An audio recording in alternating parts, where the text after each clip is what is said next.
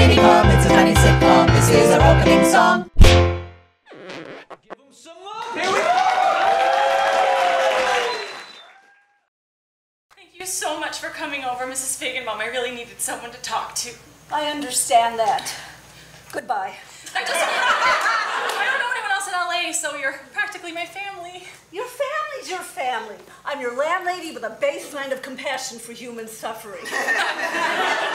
Let's keep a boundary. Goodbye. I just don't understand why Nick would ask me to move all the way out here from Truth or Consequences, New Mexico. We were so happy, and then just leave me for another girl the first week. He's an actor, and you're needy.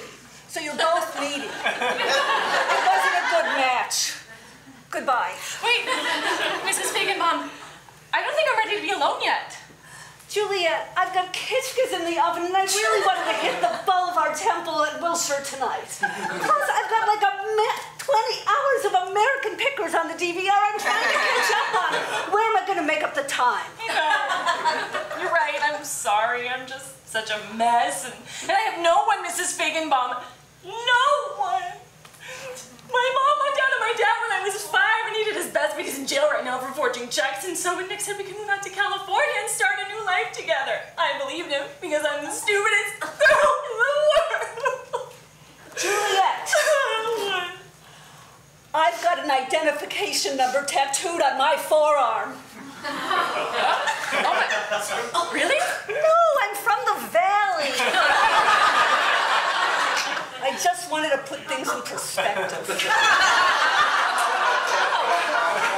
Oh my goodness. Well, that was Too soon? Maybe. Hard to tell.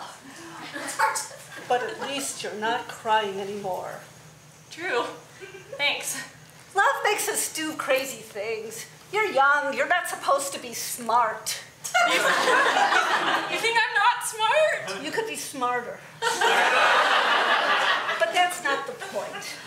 Men come and go. Some are good, some will disappoint you. It's you who shouldn't betray you. In the end, that's all that matters. Wow. Thank you, Mrs. Feigenbaum. That made me feel important. I've never had that. Have you ever had homemade sweet potato kugel? Mrs. Feigenbaum, are you inviting me over for dinner?